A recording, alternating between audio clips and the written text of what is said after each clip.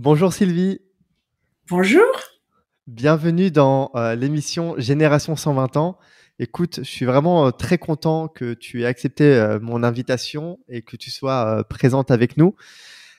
Aujourd'hui, au programme, bah, sujet à la fois palpitant et sensible, j'imagine, puisque l'on va discuter ensemble de traitements naturels contre le cancer grâce à l'approche Beljanski. Écoute, je suis très curieux par rapport à tout ça. Euh, je te disais euh, juste en off, c'est quoi exactement cette fondation? Euh, Qui a l'origine des recherches? Comment peut-on guérir du cancer de façon naturelle? Dans quelle mesure? Est-ce que c'est magique? Est-ce que tout le monde est apte à prendre ces produits? Voilà les effets positifs, négatifs, les limites, etc. Bref, tout un tas de, de questions intéressantes et j'espère qu'on va pouvoir répondre à tout ça. Et euh, bah, je suis très heureux encore une fois de pouvoir parler de tout ça avec toi, de pouvoir en apprendre davantage et euh, de pourquoi pas donner de nouvelles pistes euh, aux personnes qui nous écoutent. Bien sûr, et merci, merci pour cette invitation. Euh, je suis prête euh, à entendre toutes les questions, à euh, me forcer de répondre à toutes. Là, il y en avait eu plusieurs d'un coup. Euh, j'ai pas tout retenu toutes celles qui. Non, non, bien sûr, on va, on va y aller au fur et à mesure. J'ai retenu une. Est-ce que c'est magique? Alors, je vais répondre tout de suite à ça. Non, il y a rien de magique. Ah. On n'a pas des ondes. Je voudrais bien pouvoir envoyer aux gens qui sont malades des bonnes ondes et que ce soit magique. Non, c'est pas ça du tout. En fait, euh, derrière tout ce qu'on fait, il y a euh, au moins 40 à 50 ans de recherche, hein, puisque euh, tout a commencé avec mon père, Mirko Beljanski, qui était docteur en biologie moléculaire, a, a, passé presque toute sa, sa carrière à l'Institut Pasteur. il était au CNRS. Euh, et en fait, il est resté au CNRS jusqu'à sa euh, jusqu'à sa retraite en 1988, donc de 1951 à 1988. Et puis euh, ensuite, après sa retraite, il a continué encore dans un laboratoire privé pendant une dizaine d'années. Et c'est seulement à la suite de ça que en 99, j'ai repris le flambeau à New York avec la Fondation Beljanski et maintenant nous travaillons euh, en collaboration avec des universités essentiellement américaines. Donc on peut dire que c'est une recherche qui a commencé euh, en France à l'Institut Pasteur dans les années 50 et qui continue aujourd'hui. Donc une approche tout à fait scientifique et rien de magique. Bon bah ok bon bah voilà c'était un super épisode. écoute, euh, ok, très bien, ça, ça, donne déjà un petit peu de matière pour, pour commencer. Est-ce que juste avant de rentrer vraiment dans le vif du sujet, tu peux te présenter, euh, euh, Sylvie, et dire un peu qui tu es et, bah, là, tu es à New York. Mais... Donc, je suis Sylvie Beljanski, je suis la fille de Monique et Mirko Beljanski. Je suis avocate de formation, je suis euh, française et américaine et euh, je vis euh, à New York depuis 1994. Je dirige et j'ai créé euh, Maison Beljanski et j'ai aussi créé en 99 la Fondation Beljanski pour continuer la recherche. Voilà.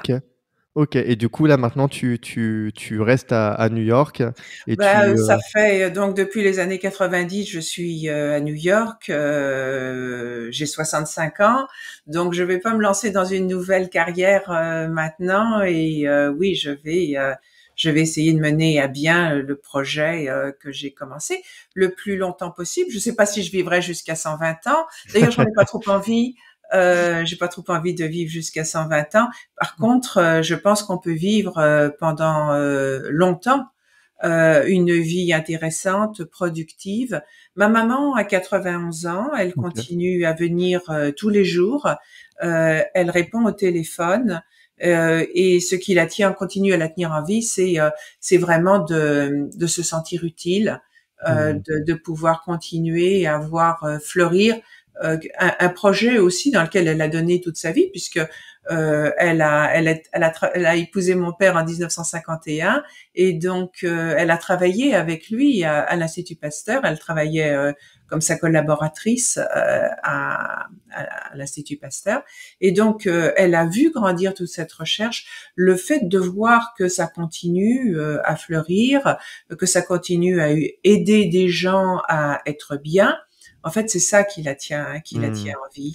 Ouais, c'est ça, c'est un sens finalement. Elle, elle, a un, un, fort sens dans sa vie qui, dans, dans sa vie et même si le corps doucement n'est plus ce qu'il était hein, à 80 ans, elle continue, elle continue à être heureuse de vivre.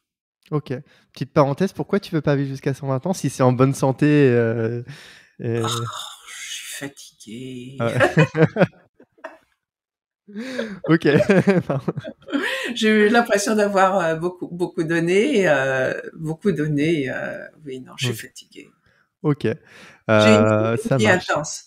J'ai une vie intense entre diriger, diriger l'entreprise, euh, mener à bien euh, la fondation, euh, les projets de continuer les projets de recherche, continuer à représenter la fondation. Je suis l'image l'image de la fondation. Enfin, aux États-Unis, il y a le directeur, notre directeur de recherche, Dr. John Hall, mais pour tout ce qui est en France, euh, c'est moi qui parle de la recherche, etc. C'est lourd.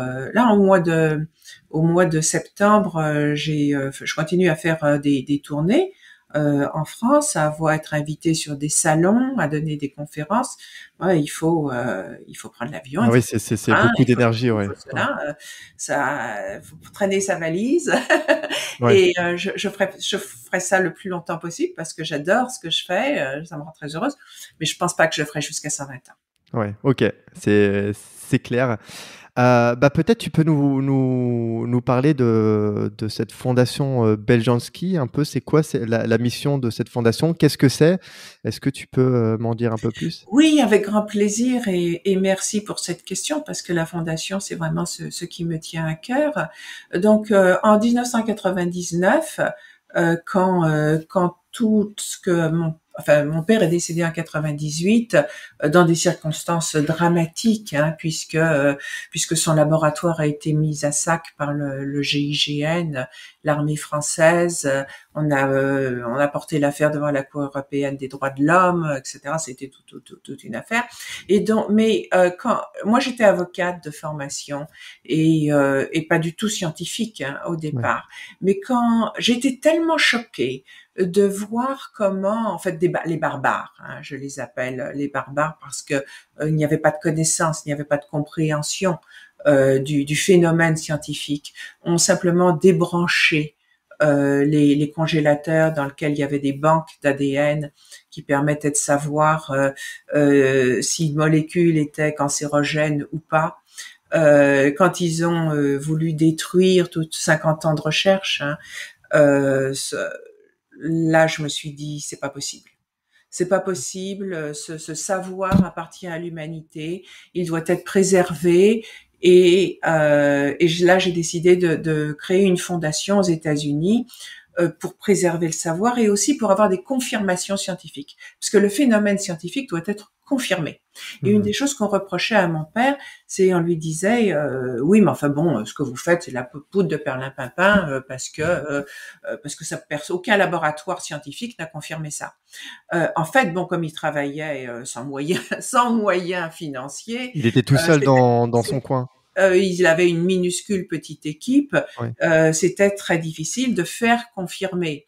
Mais euh, avec tous les ennuis qu'il a eus, euh, vous pensez bien que d'autres laboratoires avaient testé en espérant pouvoir le démolir, et comme ils l'ont pas démoli scientifiquement, c'est qu'ils n'avaient pas, ils n'avaient pas réussi à démontrer que c'était faux n'est-ce pas? Donc non, il n'y a, jamais eu de, euh, de, de, démonstration scientifique publiée disant que mon père avait eu tort. Et euh, la mission de la fondation euh, depuis euh, depuis 99 a été d'avoir avec des grandes universités américaines comme Columbia University ou Kansas euh, University Medical Center confirmer les travaux de mon père, confirmer qu'il avait raison, euh, scientifiquement, confirmer l'activité euh, des extraits qu'il a mis au point et encore aller au-delà avec des méthodes modernes qui, euh, qui n'existaient pas à l'époque de mon père. Mmh. Donc depuis 99, je peux dire qu'on a eu une vingtaine de programmes scientifiques qui ont tous abouti à des publications dans des revues à comité de lecture Et euh, toutes ces publications sont disponibles sur le site de la Fondation. Alors, il y a deux sites, beljanski.org en anglais, beljanski.info euh, en français. Et la Fondation met à disposition de tous tout ce travail scientifique, les 133 publications de mon père, euh, et toutes euh, de façon présentée le plus, de façon le plus thématique possible, toutes les publications euh, engrangées maintenant avec les partenariats établis par la Fondation Belchanski. Ok. Alors, ce qu'on fait, c'est qu'on recherche l'activité et les bénéfices de molécules naturelles pour lutter contre le cancer. Et on, a confirmé donc que des molécules naturelles peuvent euh, être efficaces sans toxicité et sans effet secondaire contre euh, un large aéropage de, euh, de cellules cancéreuses. Et donc c'est une façon euh, complètement nouvelle de repenser le cancer. On pense plus homme-femme, on pense plus prostate-ovaire, on pense plus euh, foie, rein, vessie. On pense cellules cancéreuses et cellules normales. Et ces molécules naturelles, elles ont la capacité de reconnaître sélectivement les cellules cancéreuses parce que leur ADN est différent euh, des cellules saines. Et c'est quelque chose donc que mon père avait, avait observé ces dernières, la dernière publication montrait que l'extrait de Pao Pereira, qui d'ailleurs est une plante qui vient de l'Amazone, c'est parfaitement euh, naturel. C'est un, c'est un arbre qui, dont l'écorce se régénère très très vite, très facilement. Donc en fait, c'est c'est c'est du développement durable. Euh, ça fait vivre des, des, des populations, des villages entiers qui vivent euh, là-dessus en, en, Amérique du Sud, qui qui ça valorise euh, la culture d'un arbre qui, qui faisait rien, enfin dont il ne faisait rien avant euh, avant avant que mon père s'y intéresse. Euh, un arbre qui est valorisé, c'est aussi un arbre qui va pas être coupé pour euh, pour faire des champs de, de, de soja. Hein. Mmh. Donc tout ça, c'est des choses quand même qui sont importantes si pour quelqu'un qui valorise qui valorise l'environnement. Et cette écorce, eh bien, mon père avait, avait montré que c'était efficace sur 16 lignées cancéreuses qu'il avait testées à l'époque. Et donc maintenant, on a continué cette recherche et on a montré que ça marchait sur les cellules précancéreuses, sur les multiples cellules cancéreuses. On a fait la prostate, l'ovaire, euh, le, le pancréas, que ça marche en synergie aussi avec différentes chimiothérapies, ce qui est quand même aussi très important. Les, les gens n'ont pas besoin de choisir entre euh, un traitement euh, traditionnel donné à l'hôpital et ajouter ça. Ils peuvent prendre les deux euh, en synergie. Et puis, ça marche sur des cellules cancéreuses très avancées, métastasées. on a fait une, une, étude sur le cancer de la prostate métastasée qui ne répond plus au traitement hormonal. Donc là, on dit aux gens pratiquement, ça rentrez chez vous, il y a, y, a, y a plus rien à faire. Et puis, euh, on a vu aussi que ça marchait euh, sur les cellules souches du cancer. Alors, les cellules souches du cancer, c'est quelque chose de très important parce que euh, les, les chimiothérapies diverses qui sont sur le marché euh, n'agissent pas sur les cellules souches du cancer. Les cellules souches du cancer, ce sont des cellules, disons, précurseuses. Hein. Elles sont pas encore différenciées elles, elles sont un devenir de euh, cellules de foie ou de cellules de, de, de poumons, etc. Elles sont encore indifférenciées, mais elles peuvent déjà devenir cancéreuses. Hmm. Et donc, comme les, les quand, quand vous avez euh, un cancer, une chimiothérapie, et que l'oncologue vous dit la tumeur a diminué, vous êtes tout content, mais en fait, il a détruit les cellules les moins agressives et les cellules souches, elles ont, euh, elles continuent à vivre et elles ont la capacité de rester dans le sang, de se promener dans le sang et d'aller refaire ailleurs une autre, euh, une autre tumeur. C'est ce qu'on appelle la métastase. Et tant qu'on n'a pas résolu le problème euh, des cellules souches, on n'a pas résolu le problème vraiment du cancer. On dit aux gens, vous êtes en rémission, et on croise les doigts, pour qu'il n'y ait pas de métastase. Mais en fait, euh, il y a souvent, malheureusement, des métastases. Et ce qu'on a vu, c'est que euh, les extraits de Pao Pereira et les extraits de Revolfia vomitoria, ils sont efficaces contre les cellules souches du cancer. Alors, on était tellement éblouis. On avait commencé la première étude, c'était euh, sur la cellule souche des ovaires. On était tellement éblouis que on a recommencé pour vérifier sur le cancer du pancréas. Et on a de très très beaux résultats mmh in vitro et in vivo sur animaux. Hein, c'est très important aussi de dire sur animaux parce que il y a beaucoup de choses des fois qui marchent en tube à essai. Euh, mais qu'on n'arrive pas à reproduire dans la vie, ou bien alors qu'ils sont tellement toxiques que ça tue les cellules euh, cancéreuses, mais ça tue aussi euh, le patient. Là, c'est pas le cas. On a de très très beaux résultats. Ok, donc voilà, là, on, a, on, est bien rentré dans le vif du sujet. Donc en, gros, c'est pour récapituler un petit peu, c'est ton, ton père a fait, a fait de recherches, a trouvé du coup ces fameuses plantes, on en reparlera un peu plus en détail tout à l'heure, euh, qui euh, se révèlent efficaces contre les cellules souches euh, du cancer. Contre différents types de cancers. Contre différents types de cancers. Et différents stades de cancer. Précancéreux, cancéreux, cancer avancé, cellules souches du cancer. À chaque fois, on a de très très beaux résultats. Maintenant, tout ça est prouvé scientifiquement. tout ça, toutes ces, c'est des publications issues par de grandes universités et tout est disponible sur le site de beljanski.info. J'ai une petite question pour revenir un peu euh, euh, durant la vie de, de ton père. Tu m'avais dit qu'il travaillait à l'Institut euh, Pasteur. C'est quand même un grand institut. Il, il, il, faisait pas des publications avec eux ou, ou il faisait des recherches justement déjà sur ces plantes-là avec eux. Comment, comment ça, ça a commencé en fait? Il s'est dit, je vais. Ça, ouais. Comment ça a commencé? Bien, euh, donc mon père était euh, à l'Institut Pasteur dans les années 50, 60, et il faut savoir qu'à l'époque, c'était euh, un peu la, les années 60, c'est euh, la découverte du génome, hein, c'est Watson and Crick, enfin les années 50. Donc dans les années 60, tous les scientifiques s'intéressent euh, s'intéressent à ça. Et mon, la grande approche officielle euh, de l'époque, c'est que le cancer ne peut résulter que de mutations scientifiques, euh, de mutations au niveau mmh. du génome. Et euh, mon père, il a une différente approche différente.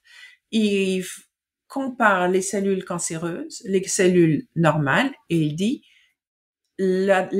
l'ADN des cellules cancéreuses est déstabilisé par rapport à l'ADN de la cellule saine une, cette déstabilisation, c'est en fait, ce qu'il a appelé déstabilisation, c'est l'ouverture des deux brins d'ADN. Les, oui, les, lisses, là, qui se... les lisses euh, au lieu d'être que tout soit joliment euh, lié comme ça, euh, il y, a, y, a, des grandes ouvertures, des grandes boucles.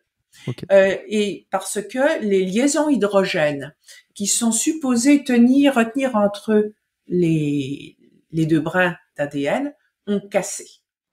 Et ça, il a fait cette observation que ce soit euh, le cancer des plantes, le cancer des animaux, le cancer des humains. Ok, donc il a observé ça. De là, À partir de là, il s'est dit, ben, euh, comme le, une, euh, quand, quand les boucles, il y a des grandes boucles, l'ADN aussi se multiplie beaucoup plus vite parce que euh, toutes les sites de duplication sont, sont, sont ouverts et disponibles. Alors, euh, il avait donc fait le lien entre cancer et augmentation du rythme de synthèse de l'ADN. Et donc, il s'est dit, à partir de là, je vais tester certaines molécules pour voir si elles augmentent le rythme de synthèse de l'ADN, parce que ça voudra dire qu'elles sont cancérogènes. Et puis, à partir de là, il s'est dit, mais si la nature a créé des cancérogènes, elle a dû aussi créer des anticancérogènes. Et il a cherché des molécules qui inhibent sélectivement la synthèse de l'ADN cancer et il a, qui était capable d'en sélectionner un certain nombre. Euh, et c'est comme ça qu'il est arrivé à ces plantes, le Pao pereira qui est en Amazon, dans qui grandit dans l'Amazon, et puis le Revolfia vomitoria euh, qui vient d'Afrique. Et euh, dans toutes les plantes qu'il a sélectionnées, c'était disons les deux plus efficaces. Mais comment, euh, comment il, a, il, est tombé sur ces plantes-là? C'est-à-dire, c'est en faisant des. Bah après, c'est peut-être vraiment très, très, technique, mais il avait déjà. Il s'est dit, voilà, ça fonctionne comme ça. Donc, Euh, non, je connais ces plantes-là qui. En, fait, il y, a une petite histoire aussi. Euh, ah il y avait le fameux laboratoire Servier, hein, celui du Mediator, devenu maintenant célèbre avec le Mediator. Ah Donc dans les années, dans les années 80, il n'y avait pas encore le scandale du Mediator. Il y avait un autre scandale. le, le, le laboratoire Servier avait développé un autre produit qui s'appelait le Sarpajan, euh, qui euh, était un extrait de Revolfia vomitoria, qui était donné pour euh, abaisser la pression sanguine des gens. Et il y avait eu des soupçons que cet extrait de Revolfia vomitoria pouvait induire des cancers du sein. Donc mon père s'est intéressé à, à cette euh, parce qu'on en parlait beaucoup. Hein, c'était c'était le, le, le, scandale Servier de l'époque. Euh, donc mon père s'est intéressé à cet extrait. Et il s'est rendu compte que le, le Revolfia vomitoria, il y avait en fait deux molécules très importantes dedans. Une qui s'appelle la réserpine, qui est toxique et cancérogène, et l'autre qui s'appelle l'alstonine, qui est moins en plus faible quantité, mais en quantité quand même significative dans, dans la plante, et qui a des propriétés euh, entièrement bénéfiques et anticancérogènes. Et donc, il s'est dit, si je purifie l'extrait et que je retire tout ce qui est réserpine, je ne vais plus avoir que du tout bon. Ah, du tout bon, ouais, ok. Et mais c'est euh, c'est un gros gros travail de, de purifier euh, l'extrait de, de Revolfia vomitoria. Il y a beaucoup de pertes, hein, puisqu'on retire euh, l'alcaloïde principal. Et donc, il s'est dit, est-ce que je pourrais trouver une molécule qui, au moins sur le papier, ressemble à l'alstonine, sans mmh. avoir à faire toute une purification?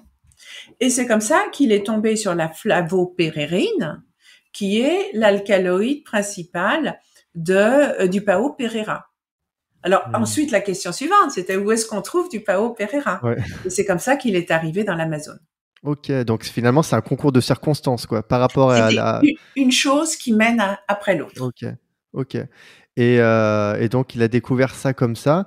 Et et, et, justement, quand il a découvert ça, il n'y a, a, pas eu la, justement, il n'y a pas eu, euh, enfin, il travaille toujours avec l'Institut Pasteur de, euh, de. Alors oui, oui, oui, Là, quand on travaille avec l'Institut Pasteur, en fait, les les les euh, les, les, brevets éventuels qu'on prend euh, appartiennent euh, à l'ANVAR, qui est la société de brevets qui dépend de l'Institut Pasteur.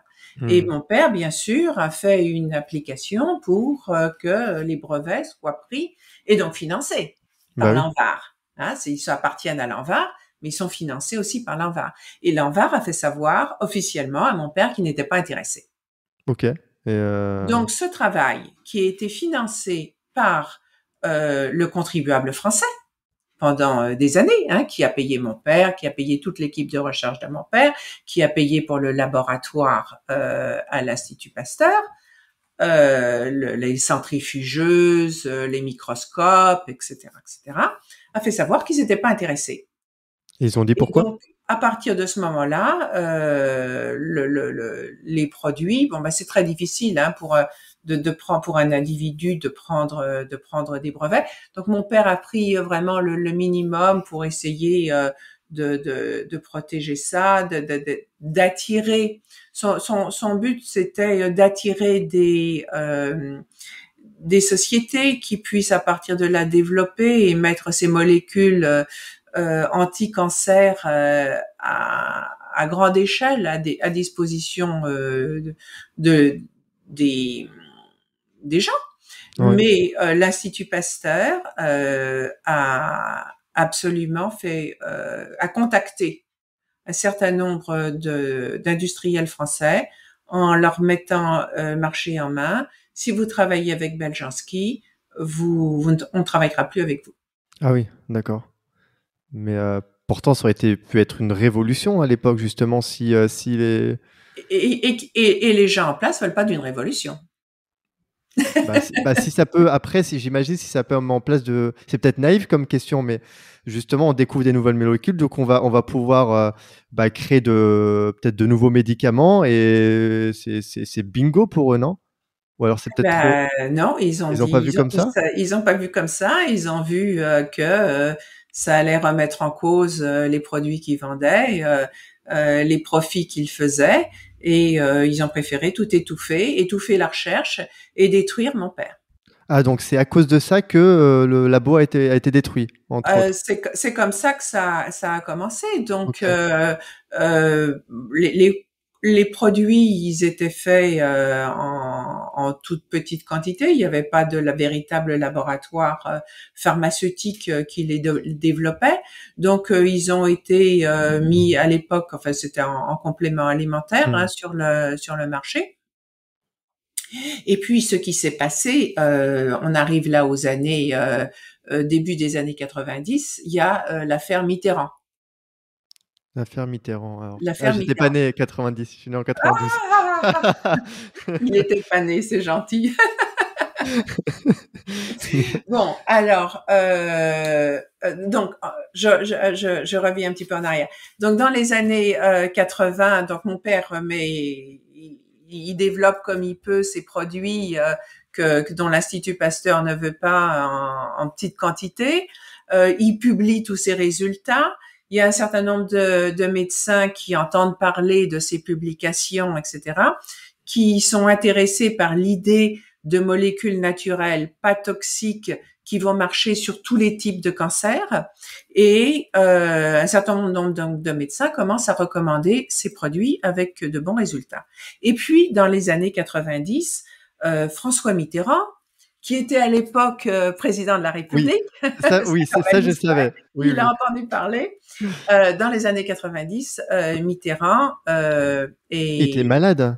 il a été diagnostiqué avec un cancer de la prostate. Alors, il avait gardé ça secret pendant son premier mandat, qui était de 7 ans. Hein, les mandats étaient de 7 ans à l'époque. exact. Et puis, début du deuxième mandat, il est tellement mal. Après la réélection, ça devient quand même officiel que euh, le président euh, est malade et qu'il a un cancer de la prostate. Et là, il est tellement malade, il a tellement attendu parce qu'il a voulu garder ça secret pendant le premier mandat que le cancer est devenu généralisé et euh, le médecin officiel euh, de, de la de la de la de l'Élysée euh, lui dit euh, écoutez c'est généralisé il y a rien à faire on peut vous donner de la morphine euh, etc et Mitterrand avait une maîtresse Madame Pinjon euh, qui avait un médecin de famille, qui avait de très bons résultats avec sur le cancer de la prostate en utilisant les produits Beljanski. Mmh. Et c'est comme ça que euh, il y a un médecin qui arrive euh, à l'Élysée et qui met Mitterrand sous les produits Beljanski. Alors gros rififi évidemment à l'Élysée entre ceux qui sont pour, ceux qui sont contre, ceux qui étaient très contents que en fait Mitterrand soit sous morphine et qu'il euh, il puisse euh, soit pas en mesure véritablement de, de, de, vérifier ce qui se passait. Il y en avait déjà qui étaient prêts euh, à organiser des, des, élections anticipées, hein, mmh. n'est-ce pas? Et puis contre toute attente, Mitterrand va euh, de mieux en mieux. Et comme on le comme on le sait, il a été capable de finir son deuxième mandat et de quitter euh, l'Élysée donc euh, sept ans plus tard. Euh, il n'était pas en chaise roulante, il était à pied, la rose à la main. Il a fait exactement tout ce qu'il a pu, tout ce qu'il a voulu faire jusqu'au bout. Ok, alors qu'on lui disait que bah, qu'il avait plus rien à faire. disait que euh, à la, au début de son deuxième mandat que euh, que c'était que c'était fini. Puis c'était l'époque enfin où il y avait véritablement, euh, on a parlé d'élections anticipées. Hein, c'est l'époque Balladur, Chirac, euh, Balladur, que, que, qui était très haut dans les dans les sondages et puis Mitterrand durait durait durait durait alors Balladur a eu le temps de s'effondrer dans les dans les sondages. Chirac a eu le temps de monter dans les champs de sondage. Ça a un petit peu euh, changé l'histoire, euh, l'histoire de la France. Et, euh, et en attendant, il y avait donc des gens qui étaient furieux au ministère de la Santé que ça en fasse ainsi de la publicité pour des produits naturels. Ça montrait vraiment au monde que des produits naturels pouvaient faire mieux que euh, ce, ce, que le médecin officiel avait, avait prescrit. Mais justement, ça n'a pas fait un gros coup de pub positif sur, sur tout ça? Alors, ça a fait un gros coup de pub positif, sauf que bon, la presse officielle n'en a pas parlé. Enfin, il y a eu quand même un gros coup de pub positif pour pour l'approche de mon père dans tant que Mitterrand était en vie.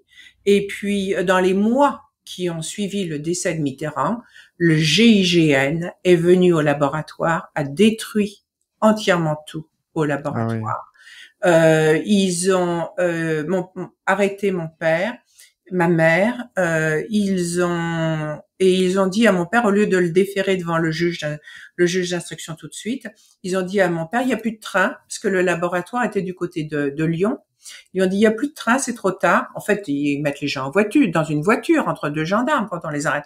Là, ils lui ont dit, il n'y a plus de train, on vous déférera demain. Euh, vous allez passer la, nuit au laboratoire. Et ils ont euh, sprayé, enfin, ils ont vaporisé le laboratoire avec des produits, un produit chimique. Et six mois, non, deux mois plus tard, mon père, qui était avant en très bonne santé, a été diagnostiqué avec une leucémie myéloïde aiguë.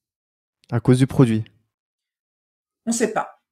En tant qu'avocate, euh, moi j'ai réussi à obtenir accès euh, au dossier pénal, hein, puisqu'ils ont commencé une procédure pénale contre mon père, euh, tromperie sur la marchandise, enfin, il y avait toute une liste de, d'accusations qui partaient dans tous les sens. Et moi j'ai eu accès au dossier pénal. il n'y avait absolument rien à propos de cette vaporisation. J'ai des témoins visuels d'une d'une euh, vaporisation sans existence légale. Ok. Donc je ne sais pas ce qu'ils sont vaporisés. Incroyable.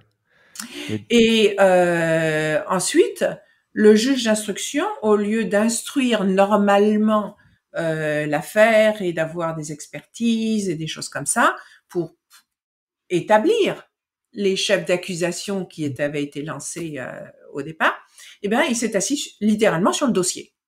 Ok. Sans. Il a mon père en examen. Vous n'avez plus le droit d'exercer, vous n'avez plus le droit de publier, vous n'avez plus le droit de parler à des journalistes, vous n'avez plus, etc. Et voilà. Et on attend. Oh, le choc, oh, le pauvre. Alors, je pense qu'il savait, je pense hein, euh, qu'il savait que euh, mon père, on lui avait vaporisé quelque chose et qu'il allait être très malade et qu'ils attendaient que mon père décède. Tout simplement. Ok. Et aujourd'hui, quelques années après, euh, on ne sait pas. Et, quelques années après, le, mon père, donc mon père effectivement décédé euh, avant euh, la fin de l'instruction. Donc, il n'a jamais été jugé, il n'a jamais été condamné. Incroyable. Ouais. techniquement, tant qu'on n'est pas condamné, on est présumé innocent. Et, euh, et tout ce que j'ai pu faire, c'est de porter l'affaire devant la Cour européenne des droits de l'homme, euh, parce que c'est pas normal de laisser traîner un dossier pendant deux ans, en sachant que euh, le prévenu est malade, et sans lui donner euh, la chance de, de, de, se défendre. Et en plus, ils pouvaient même pas utiliser ces produits vu que j'imagine tout. Il y en avait plus. Ils avaient tout détruit. Ouais. Oh, le choc, ouais, ça, ça, devait être un choc autant pour toi que pour euh, ta maman. Et, ça, a été, euh, ça a été horrible et euh, pour moi, c'était, c'est cette horreur qui a été le déclenchement. Si mon père, mon père était décédé de sa belle mort, disons, de quelques de années vieillesse, voilà. Euh, oui, bon, euh, il a une, un infarctus ou Dieu sait quoi. On va tous mourir de quelque chose, hein. même si on vit jusqu'à 120 ans, on va éventuellement tous euh, tous mourir de quelque chose. Euh, donc, si mon père était euh, décédé de façon normale, je me serais jamais jamais lancée dans cette dans cette affaire. J'étais pas, moi, je, encore une fois, j'étais juriste, pas scientifique, mais c'est, j'étais tellement scandalisée scandalisée par euh, par ce que la France a fait que je me suis dit c'est pas possible, on peut pas, on peut pas, on peut pas laisser hmm. ça euh, détruire. Et puis devant la Cour européenne des droits de l'homme, ils ont été nuls, mais ils ont été archi nuls. Euh, ils étaient quand même devant la Cour européenne des droits de l'homme. Le ministère de la Santé devait expliquer le comment et le pourquoi. Pourquoi est-ce qu'ils avaient laissé durer cette procédure pendant deux ans sans l'instruire normalement? Ils n'avaient aucune, aucune justification. En fait, gagner devant la Cour euh, européenne des droits de l'homme, c'était un jeu d'enfant sur le plan juridique. Ils hmm. n'avaient rien, comme, euh, comme, euh, comme élément juridique pour s'expliquer. Et on a gagné à l'unanimité. Ok. Ouais, donc vraiment, c'était euh, c'était du côté de la France, il n'y avait pas d'effort. Euh, il, il faisait... ça, a été de l'abus de pouvoir et une violation de l'article 6 de la Déclaration européenne des droits de l'homme. Ok.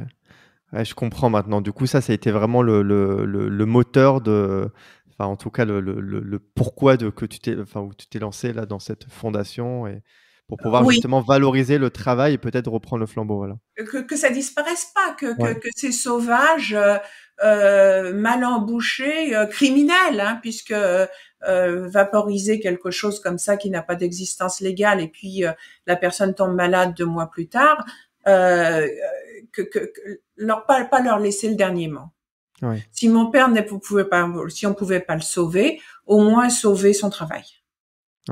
Et puis, mais les choses ensuite ont, évolué euh, au fur et à mesure que je me suis investie dans cette recherche et que j'en pu en apprécier euh, la, beauté, euh, l'élégance de ces molécules qui sont pas toxiques, qui n'ont pas d'effets secondaires, qui vont marcher sur tous ces cancers. Là, euh, je me suis dit, euh, c'est magnifique, j'ai une telle fierté chaque hmm. fois que je peux en parler, chaque fois que je peux euh, donner une conférence. c'est ça qui est devenu le, moteur maintenant. Je vais pas rester 20 ans dans dans, dans l'amertume et, et, dans la colère. Oui. ok, d'accord. Ouais, donc tu as, as, repris le, le, flambeau. Bravo déjà. Et euh, je suis assez, euh, non, je suis, assez euh, touché par cette histoire parce que c'est juste incroyable. Et c'est fou que, que, ouais, que, que, ça soit passé de, de cette façon-là.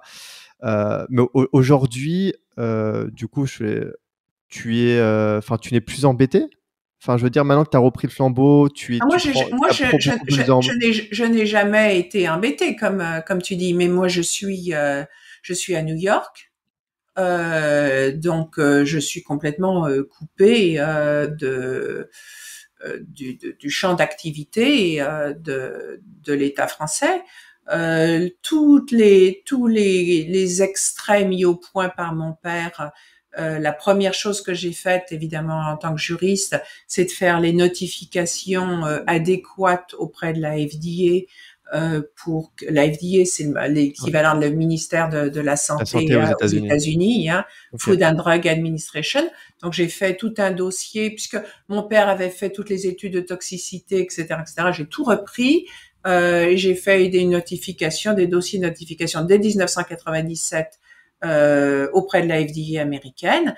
Et donc maintenant, ça fait plus de 20 ans que les extraits sont euh, en tant que complément euh, alimentaire euh, aux États-Unis en toute légalité et la fondation fait de la recherche, enfin finance des universités pour faire des programmes de recherche et tout ça est fait en toute légalité et, et non. Je, je, touche du bois, mais nous n'avons pas jamais eu de problème depuis depuis maintenant 25 ans. Ok, les, les, industries, vous disent rien, les industries pharmaceutiques ou quoi que ce soit euh, Non, non, non, il euh, n'y a, pas, y a, pas eu, y a jamais eu de problème. En fait, je, ce qui montre bien que c'était euh, véritablement politique. Oui. Et, et, et, du coup, bah, d'après ce que, ce que je comprends, tu es à New York, mais à, à il y a plus, il y a pas de labo, il n'y a pas de vraiment de, de fondation euh, physique en France. Il n'y a, a, pas de donc il y a pas de laboratoire. Euh, il y a une fondation à New York qui finance des recherches euh, faites dans des, universités américaines. Et puis euh, nous avons aussi créé une petite sœur à la fondation américaine. C'est la donc la fondation américaine, c'est The Beljanski Foundation. Et en, en Belgique, le cœur de l'Europe, euh, nous avons créé euh, la Fondation Beljanski. Et donc la Fondation Beljanski, elle est à même de recevoir des fonds de, de, de de Français, de Belges, etc. De, euh, les, les, fonds euh, donnés par les Français et les Belges sont euh, déductibles de leurs impôts. Hein, c'est quand même important. Et la fondation organise des événements régulièrement. Et donc, c'est pour moi, c'est l'opportunité d'aller parler à droite, à gauche, là, là où, il y a des opportunités qui se créent de donner des, des conférences. Ok. Euh, super, non mais c'est très intéressant. Euh, bah, j'aimerais euh, du coup maintenant pouvoir revenir sur sur les, les, extraits dont, dont, tu parlais tout à l'heure pour pour vraiment peut-être un, peu plus expliquer. Donc tu m'as parlé du alors c'est compliqué, je crois que c'est Ro, Rowolfia vomitoria. Voilà. Alors, et, en fait, non, non, non, non, c'est pas, pas, compliqué. Le, mon, mon, père a mis au point, enfin, développé cinq, cinq produits. Cinq, produits, ok, d'accord. Cinq. C'est tout. Alors, il y en a deux qui ont des propriétés anticancéreuses. Ok. Hein. C'est l'extrait de Pao Pereira. Oh oui, Pao Pereira. Et l'extrait de Revolfia vomitoria. Encore une fois purifié de sa euh, réserpine. Pao Pereira, Revolfia vomitoria. Les deux ont des propriétés anticancéreuses à large spectre. Euh, on marche en synergie avec la chimiothérapie sont euh, anti-inflammatoires et en plus le Paopéra a des propriétés antivirales. Ok, parce qu'en fait des choses. Alors. Tout en un. Tout en un. Bonus, tout bonus antiviral. Ok. À côté de ça, vous avez le troisième. Euh, euh vous avez dans les anti, dans les anti-cancéreux, vous avez un mélange de thé et j'ai trouvé son ce papier presque 20 ans plus tard. Il avait testé plusieurs thés verts. Il en avait sélectionné quatre qui avaient des, des propriétés anticancéreuses. Et donc, il n'avait pas pu le temps de, de, de, de développer cette recherche. C'est une recherche qu'on a pu faire euh, ici aux États-Unis. On a testé donc ce, ce mélange de thé vert qu'on a appelé oncoti euh, sur euh, cancer du sein, même métastasé, cancer du foie, de la vessie, quatre lignées de mélanome ça, c'est le, le thé. Après ça, vous avez le quatrième produit, c'est un extrait de feuilles dorées de ginkgo biloba. Alors, oubliez tout ce que vous avez connaissez sur le ginkgo biloba. Oui, c'est vrai, je voyais des petits trucs ginkgo biloba. Parce que c'est ce que ce que on trouve généralement partout, c'est du ginkgo vert. Là, on parle de ginkgo doré. Donc, le produit, euh, la matière première, eh ben, elle est différente puisque à l'automne, la, couleur de la feuille, le changement de la couleur de la feuille reflète en fait le changement de la composition chimique de la feuille, donc une, une matière première différente, un processus d'extraction différent. Et le ginkgo doré aide à la réparation des tissus et à la protection contre la fibrose. Donc très euh, euh très important quand euh, il y a euh, des une, opération ou bien de la radiothérapie. Ah oui. Hein. Et euh, la dernière étude là qu'on a fait récemment avec le ginkgo doré montre que il a une action contre l'angiogénine. L'angiogénine, c'est cette enzyme qui permet aux cellules cancéreuses de euh, multiplier de nouveaux vaisseaux sanguins ah qui vont apporter des nutriments supplémentaires aux cellules cancéreuses. Parce que les cellules cancéreuses, elles ont besoin de beaucoup, beaucoup d'énergie et pour survivre. Et donc, elles créent des vaisseaux sanguins supplémentaires qui sont comme des sortes d'autoroutes qui vont leur apporter beaucoup de nutriments. Et donc, euh, avec le ginkgo, c'est une façon de différente de tuer les cellules cancéreuses. On va les affamer. On coupe leur réseau euh, autoroutier. Et puis finalement, le dernier produit, qui alors là qui est d'une immense originalité. Ce n'est pas un extrait de plante, ce sont des petits fragments d'ARN qui proviennent d'une bactérie et qui euh, vont aider la moelle osseuse à faire son travail plus vite, augmenter la, le rythme de synthèse de la moelle osseuse. Et la moelle osseuse, c'est là où l'organisme naturellement fait les globules blancs et les plaquettes. Hmm. Or, quand on a une chimiothérapie, On perd beaucoup de La chimiothérapie n'est pas sélective dans son action, donc elle va tuer des cellules cancéreuses, mais elle va aussi tuer beaucoup de globules blancs et les plaquettes. Les plaquettes, ce sont ces molécules sanguines qui euh, permettent euh, de coaguler. Donc, si vous tuez les plaquettes, vous ne coagulez plus, vous faites des bleus pour un oui, pour un non, vous avez des hémorragies euh, sans arrêt, et ça se termine très mal. Et puis, euh, les globules blancs, qui sont une autre famille de euh, cellules sanguines, c'est le cœur de notre immunité, hein, les, les natural killers, etc. Donc, être capable de régénérer euh, la moelle osseuse, c'est une façon euh, de d'aider le corps à fabriquer plus euh, de, de, de, cellules qui vont renforcer notre système immunitaire et un nombre décent de plaquettes pour éviter les hémorragies sans, sans cesse. Là, on a eu un très très beau essai clinique. On avait réussi à faire un essai clinique avec ça euh, à Cancer Treatment Centers of America. Euh, on a monté les doses de 20, 40, 60, 80 milligrammes euh, sans effets secondaires, sans complications. Ah et, et, et, les patients qui étaient dans l'essai clinique avaient différents types de cancers, différents types de chimiothérapie et aucun d'entre eux n'a eu besoin de transfusion sanguine. Ils ont tous été capables euh, de, de créer de, un, nombre suffisant de plaquettes tout au long de l'étude. C'est magnifique tout ça, mais il faut redonner à tout le monde alors. C'est magnifique. Ah, c'est pour ça quand je vous dis, euh, euh, je suis devenue tellement fière des résultats que c'est en fait le, ce, le, ce sentiment qui a remplacé, balayé toute l'amertume et, l'agressivité que je pouvais avoir il y a 20 ans. Mais Du coup, là, ces cinq produits, là, ils sont fonctionnels, sont, sont, sont produits vraiment? Enfin, c'est, euh, est-ce que c'est encore au stade de l'expérimentation, d'essai, ah etc. Non, ou euh non, non, non, non, non. En fait, pour faire des recherches, il faut qu'il y ait des produits. Hein, parce que sinon, il y a pas. Et on Ce que je veux dire, c'est que ça peut être, ça, peut être euh, vraiment euh, dans un cadre très précis. Et... Non, non, non, non. Comme j'ai dit, hein, depuis 97, tout a été notifié à la FDA, donc tout est disponible en tant que complément alimentaire. C'est euh, mis euh, sur le marché par Maison Beljanski. Hein, donc vous allez sur euh, maisonbeljanski.com, il y a le site en français, le site en anglais, mm. et euh, tous les produits bon, peuvent être euh, peuvent être sont, sont, sont disponibles, peuvent être commandés commandés en ligne. S'il y a des questions, on peut il y a, y a un formulaire pour poser les questions. Euh, mon équipe, euh, elle est bilingue, totalement bilingue. Hein, c'est New York, c'est la, la, francophonie.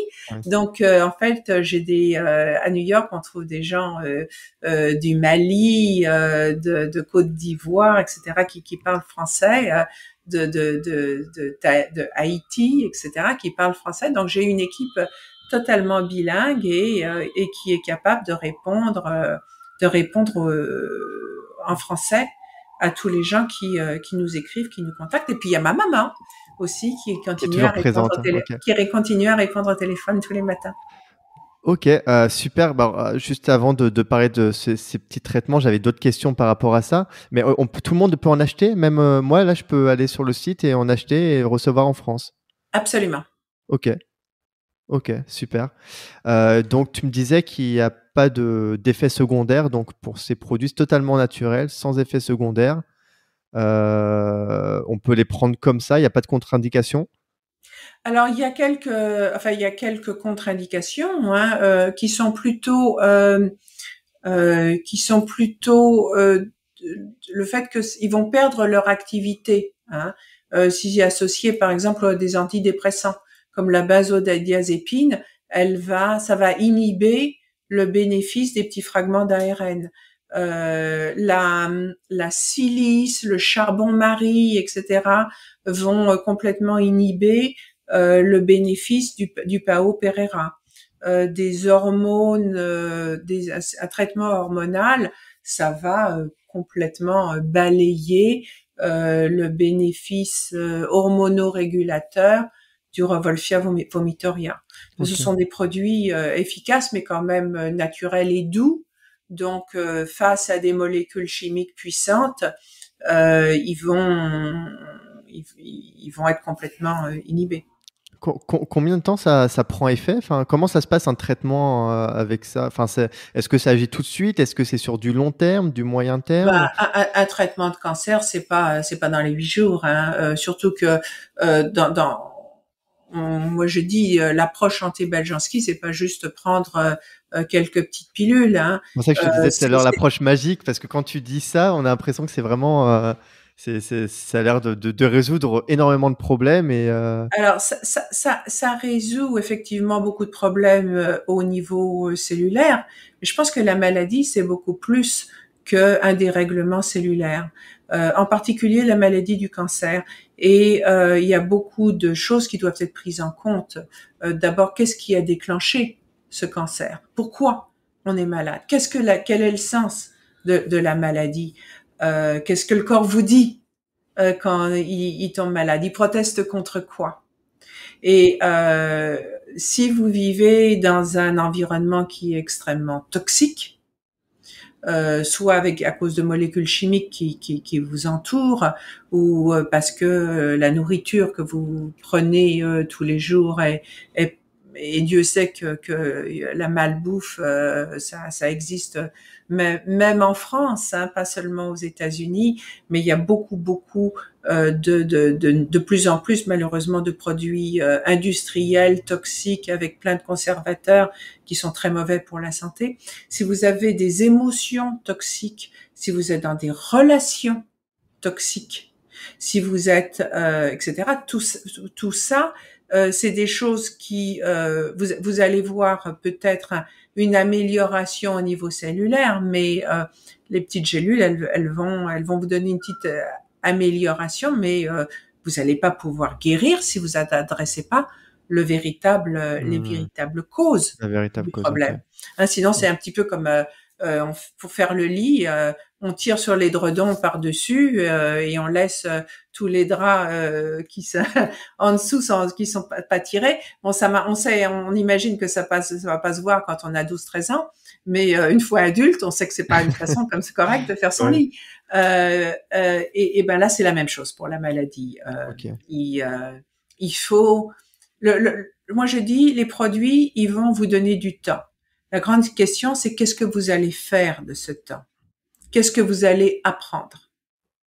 Et quel changement vous allez faire de votre vie? Hmm.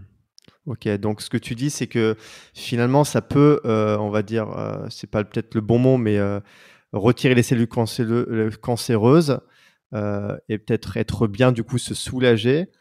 Mais si on traite pas la cause, bah, ça va finir par revenir.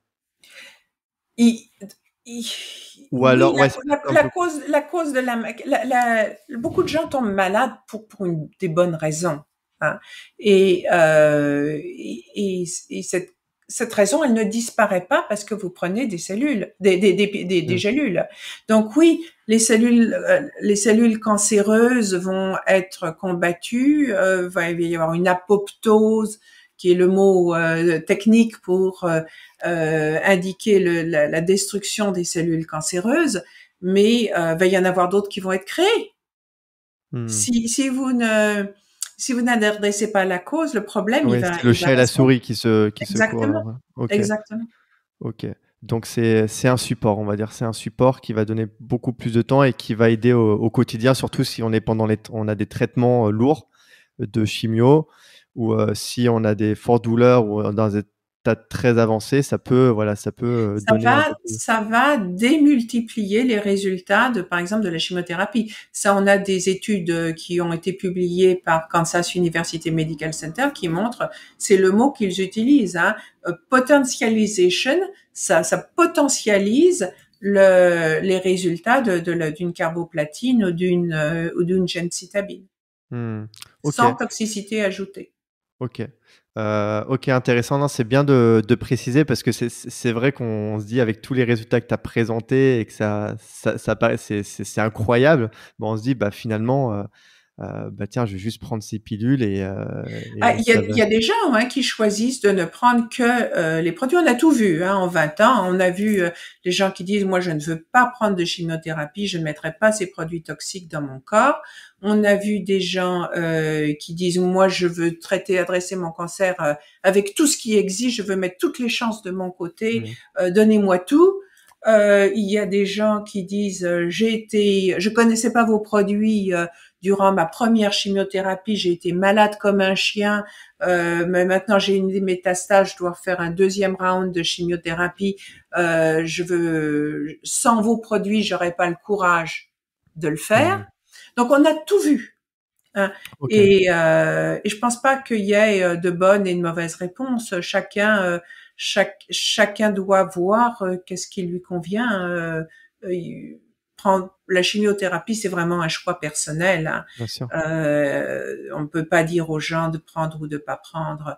On sait que c'est toxique, c'est extrêmement toxique, ça, mais ça va tuer des cellules cancéreuses. Euh, c'est avec beaucoup d'effets secondaires. Chacun doit décider si c'est une route qu'il doit mmh. suivre ou pas. Ok. Et, les personnes qui prennent que des gélules, euh, bah maintenant avec du recul, ça, euh, est-ce que ces personnes sont soignées? Ça, dépend, ça, dépend, des gens et encore ça dépend aussi de leur style de vie. Euh, ça dépend. Oui, si à euh, côté tu. Est-ce qu'à côté de ça ils vont faire une sérieuse détox? On a des gens par exemple qui nous disent je préfère la, je fais la cure de Bruce, etc. Donc ça veut dire qu'ils sont extrêmement sérieux. Euh, sur sur détoxifier leur alimentation, faire de la méditation, etc., etc.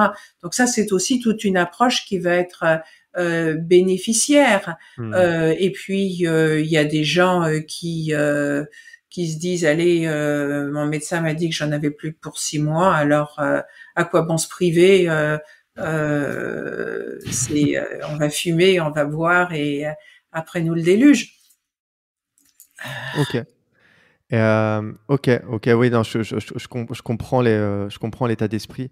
Est-ce que du coup, il n'y a pas de durée optimale de traitement. C'est, ça peut être euh, euh, comme quelques jours, quelques semaines, quelques mois. En général, les gens nous rapportent qu'ils voient un changement au niveau de leurs euh, résultats sanguins et puis de leur de leur énergie au bout de deux trois mois.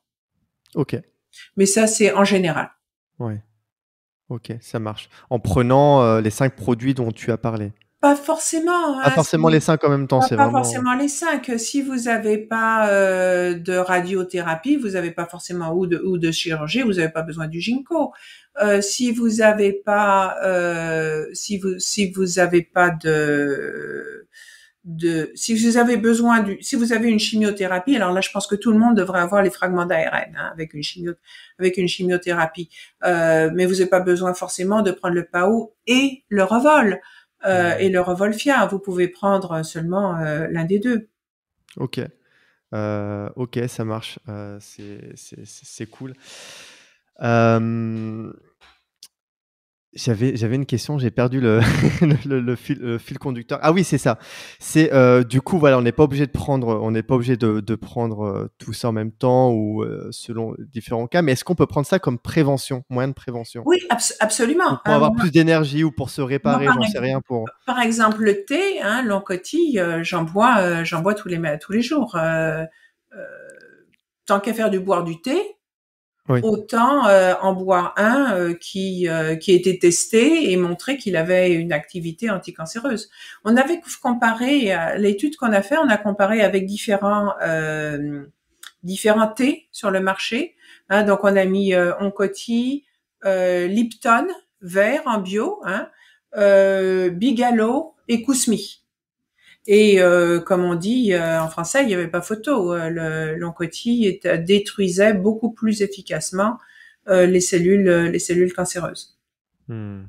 Ok, ok, ça marche. Donc on peut prendre ça aussi en moins de prévention, ou en tout cas pour pour peut-être se, réparer un peu de l'intérieur si on a peut-être des, des, dommages cellulaires ou quoi que ce soit. Tout à fait. Hein. Il y a beaucoup de gens qui font des cures un produit. Voilà les cures, je cherchais le mot, merci. Euh, deux, deux, mois par an euh, au changement de saison. Euh, bon, ils commandent une, une ou deux bouteilles et puis juste deux mois par an, ou bien alors quand ils sont, sont sortis d'un cancer, ben on va, ils vont pas prendre des produits à vie, hein. Mmh. Donc ils savent qu'ils sont bons, ils ont le cancer est derrière eux, mais ils continuent à prendre une bouteille à l'automne et une bouteille, bouteille au printemps de, de produits pour juste pour en, maintenance. Ok. Et toutes ces ressources-là, euh, il y en a en illimité? Enfin, je veux dire, à partir des plantes, c'est des plantes qui sont qui poussent euh, de façon illimitée. Est-ce que c'est de ressources limitées? Voilà, la base de, de ces produits. Alors, une, une des beautés euh, aussi de ces plantes, c'est que, par exemple, le Pao Pereira, euh, d'abord, c'est un arbre qui pousse, euh, qui se régénère très très vite. Hein. même si vous le, le coupez euh, il, euh, il, toutes les petites graines, ça va faire des petits pao Pereira qui vont euh, pousser autour. Et puis, c'est si vous simplement vous rasez l'écorce, euh, en laissant toujours 20% de, de l'écorce sur le tronc, eh bien, euh, il va, il va reproduire une nouvelle écorce euh, année après année. Donc, en fait, c'est vraiment, on est vraiment dans le développement durable. C'est beau la nature. Hein. Euh, c'est magnifique la nature. Génial. C'est magnifique la nature. c'est ah bah écoute super euh, super fascinant euh, Sylvie. Franchement ça ça, ça, donne de l'espoir en tout cas. c'est cool. Là enfin là, on, on, parle beaucoup du cancer. donc Aujourd'hui, tu disais que c'est un large spectre de, cancers. Euh, une première question qui me vient, est-ce qu'il y, a des cancers où pour le moment il n'y a pas de, voilà, ça fonctionne pas très bien? Et est-ce qu'il y a d'autres pathologies hors le cancer, hormis le cancer où ces produits peuvent fonctionner? Oui, alors les, cancers euh, où, on a du mal à faire euh, à faire fonctionner, c'est par exemple le cancer des os parce que c'est on a plus de mal pour faire pénétrer le produit. Hein, dans les os. Donc euh, là, il vaut mieux qu'il y ait une scintigraphie osseuse avant. Ça va rendre l'os un peu plus friable et ensuite les, les, les, les os euh, vont mieux euh, vont pouvoir mieux enfin être mmh. pénétrés euh, par les produits.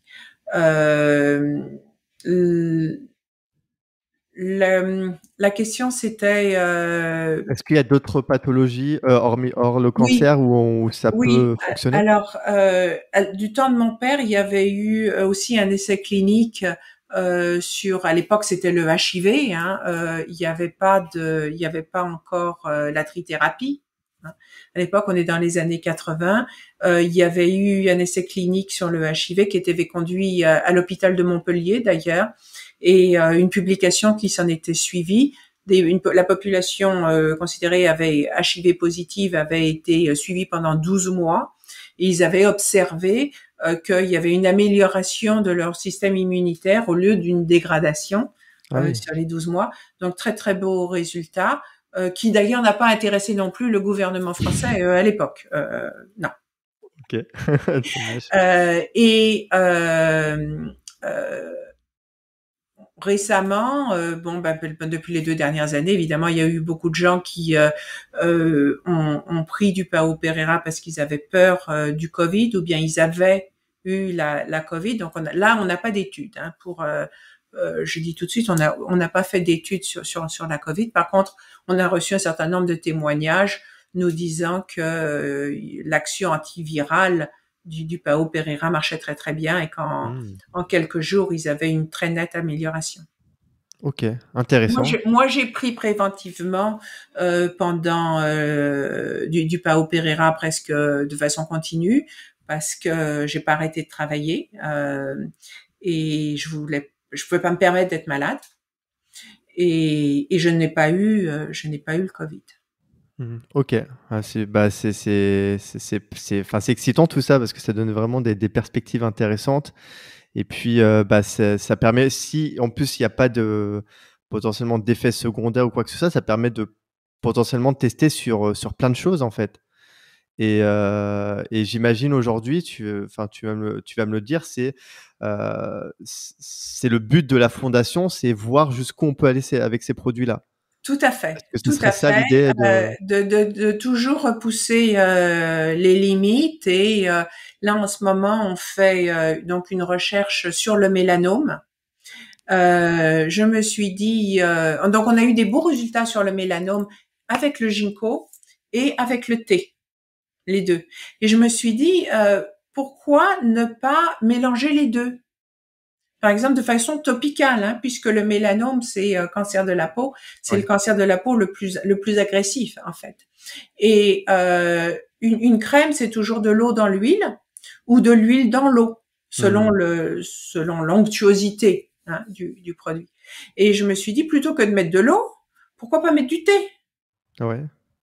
Et donc euh, là, on est en train de lancer une, une lignée euh, de, de, soins pour la peau euh, qui contient à la fois, qui contient ce mélange de, de thé et, et de ginkgo doré. Ok. Voilà. Donc ça, c'est en, Ça s'appelle Belgian Skin. On a déjà deux produits euh, disponibles, euh, une lotion pour le corps et puis un, une crème pour les mains et les pieds. Euh, et puis on est en train de développer le, le reste de la crème.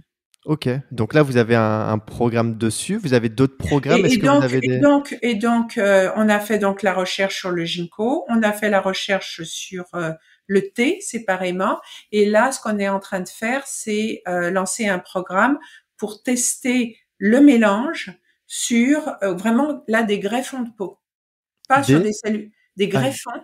Ah, des greffons de peau. Ok, d'accord, ok.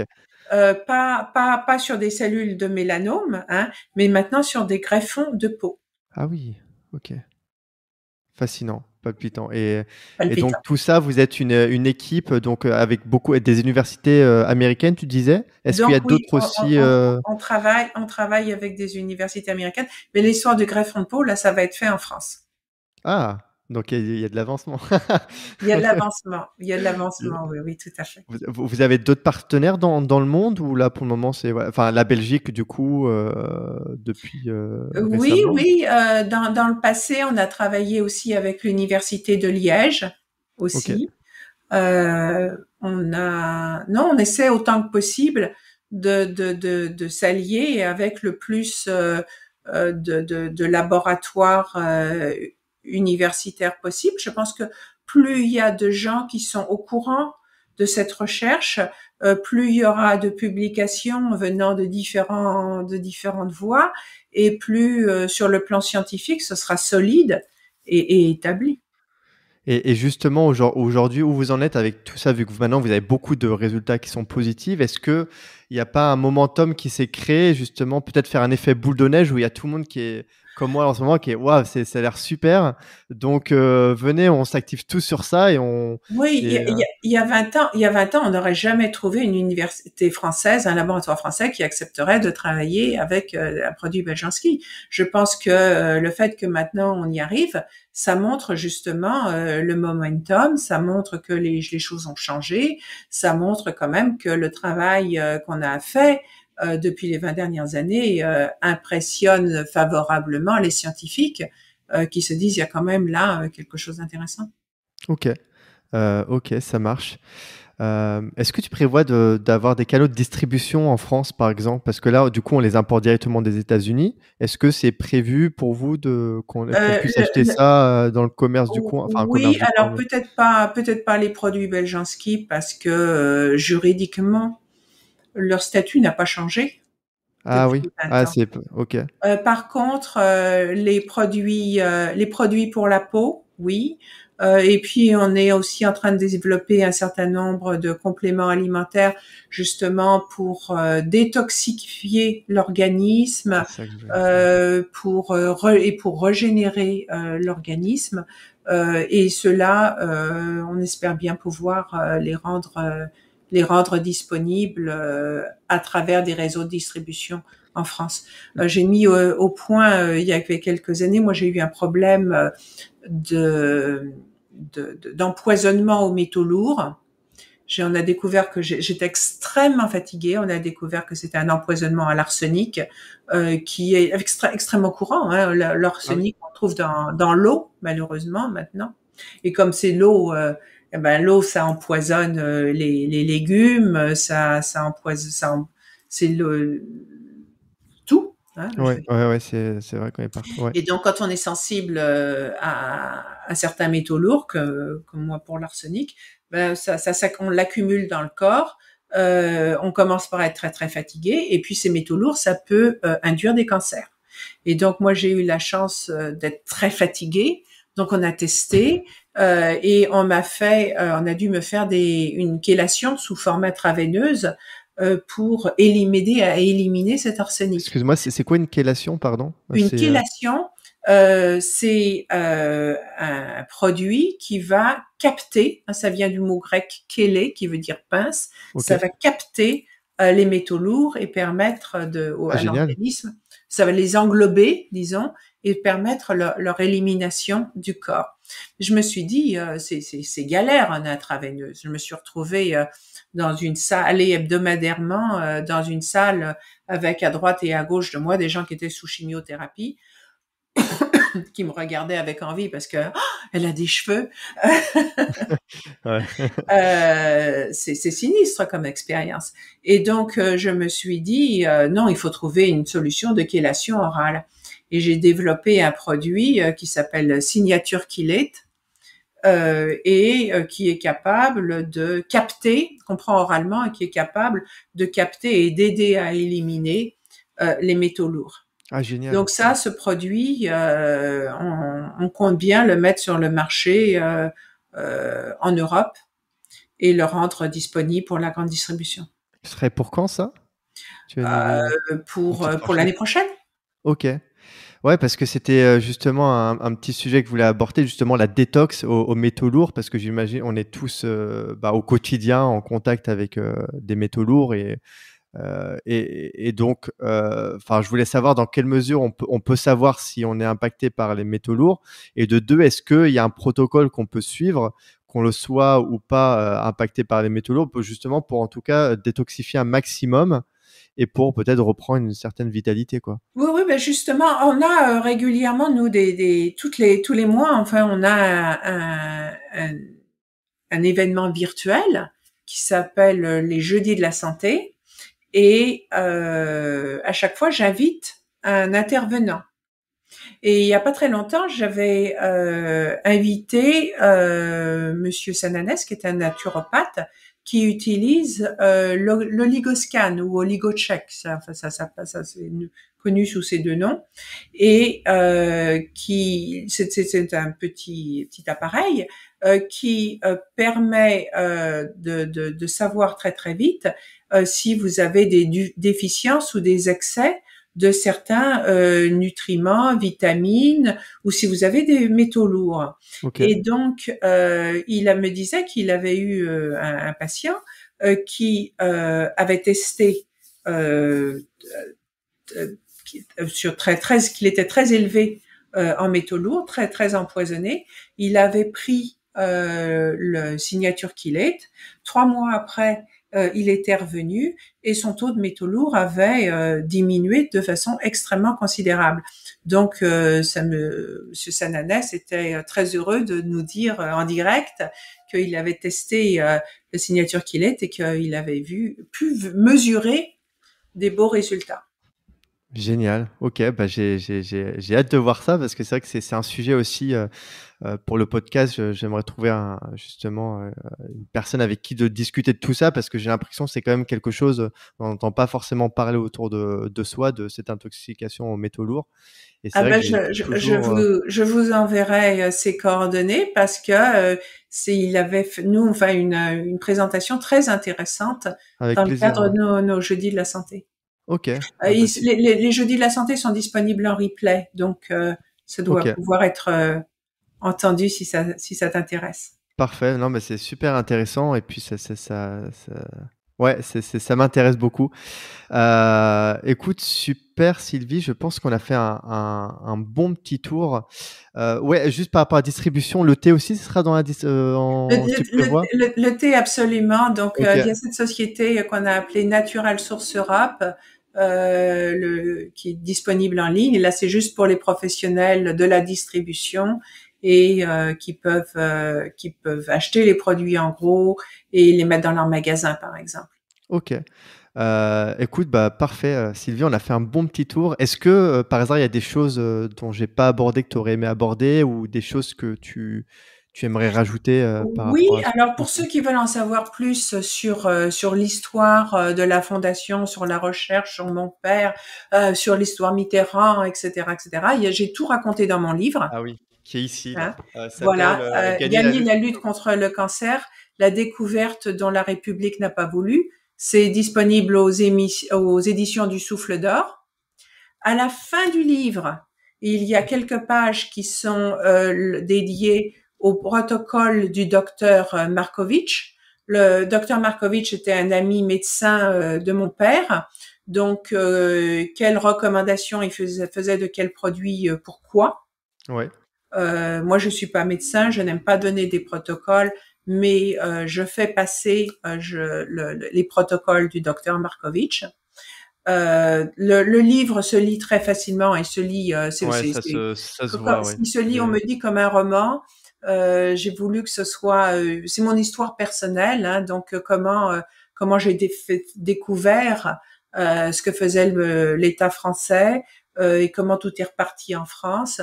Mais il y a beaucoup de documentation, beaucoup de références, donc c'est une très très bonne une très très bonne introduction disons, à cette euh, recherche, tout en étant facile à lire. Parfait. Et puis, euh, et puis, allez sur mon site euh, sylviebeljanski.com. Vous aurez euh, les dates de toutes mes conférences à venir, de tous mes événements à venir. Allez sur le site de la fondation beljanski.info pour tout savoir sur les publications dont j'ai parlé. Elles sont toutes mises en ligne.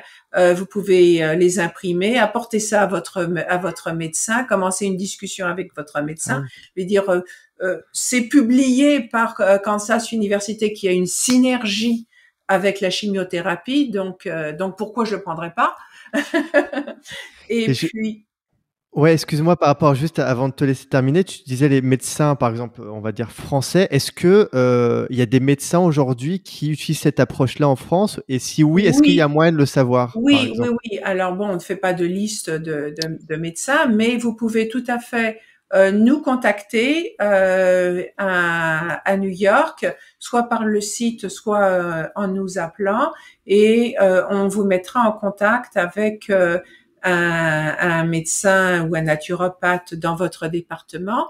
Et s'il y en a personne, parce que bon, il y a des déserts médicaux, euh, on vous pourra aussi vous mettre en, en, rapport avec un professionnel de la santé qui fasse du euh, télé télémédecine. Oui, ok, d'accord. Euh, voilà.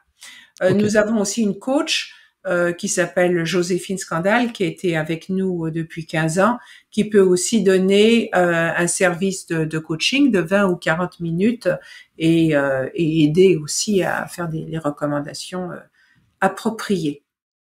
Ok. Voilà. Et puis bon, pour les produits, c'est Maison Beljanski en français et, et, en anglais. Il y a un petit drapeau sur le côté pour être dans, sur la bonne langue. Ok, bah écoute, je vais, je vais mettre tout ça, euh, tout ça dans la description. Euh, c'est top. Juste avant de terminer, euh, le, de clore cette euh, émission, j'ai quelques petites questions très rapides à te poser. Ça n'a rien à voir avec le, le sujet, c'est juste voilà pour terminer euh, sur une petite note un peu fun. le but, c'est de répondre juste le plus rapidement possible et spontanément. Oui. pas de questions pièges, tu vas voir et voilà, comme ça on terminera sur ça. Et puis, euh, bah, on clôturera l'épisode en beauté. T'es prête? Oui. Super. Comment tu te décrirais en un mot, Sylvie? En un mot? Ouais. Vivante. Qu'est-ce qui te fait sourire au quotidien? De savoir qu'on peut, je peux faire une différence, d'être utile. Qu'est-ce que tu crois vrai que beaucoup de personnes pensent fausse? Euh, La fatalité. Ok. Si tu étais dans, un, dans les nuages avec un gros panneau d'affichage et que tu aurais la possibilité d'écrire un message pour le diffuser au monde, ce serait quoi ce message? Espoir. Si tu pouvais remonter dans le temps et parler à toi, enfant ou ado, qu'est-ce que tu lui dirais? Ça va bien se passer. Si tu avais l'opportunité de prendre un café avec un personnage historique ou une personne très importante pour toi, ce serait qui et pourquoi? Hmm. euh, Napoléon. j'aimerais, j'aimerais lui dire, avec toute cette puissance créatrice, euh, parce que quand même, je veux dire, tout on lui doit le code civil, le code pénal, les, les codes de procédure, etc. Euh, pourquoi mettre tout ça dans, dans la guerre? Hmm. Question ouverte. ok.